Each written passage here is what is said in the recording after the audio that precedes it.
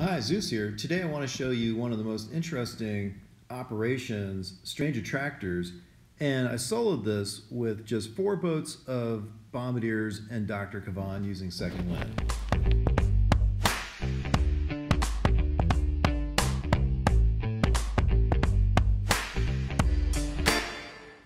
So strange attractors is one of those operations that's really tricky and people can often have a lot of trouble with it because it's got a ton of grapplers.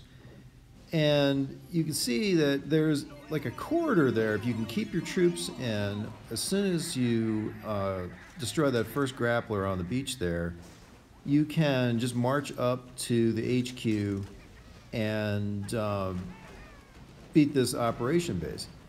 But the problem is keeping all your troops together in that very narrow corridor. And if they stray out of it for just a little bit, they're going to get grabbed one by one by the grapplers on either side.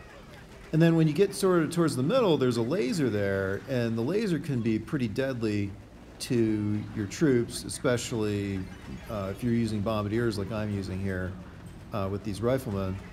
And so, you know, you got to get the, uh, the laser down.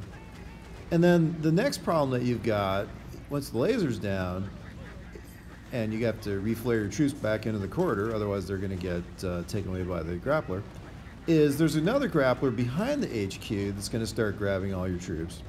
And you've got to figure out how to uh, BART that one down. And uh, anyway, it's, it's a really fun and tricky, tricky operation base, and you got to do a bunch of things right to not end up with a disaster. Uh, in this case, uh, I only used four boats of, of bombardiers because I had uh, four boats of Scorchers loaded up, and I didn't want to get the Scorchers killed uh, in the operation, and I didn't want to take the time to reload something else since I'm not using instant training.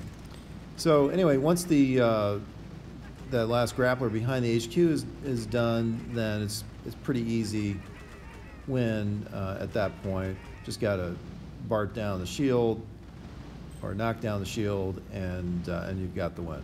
Fortunately, the grappler grabbed my Dr. Kavan on the way, so he got knocked out, but no, no long-term damage there.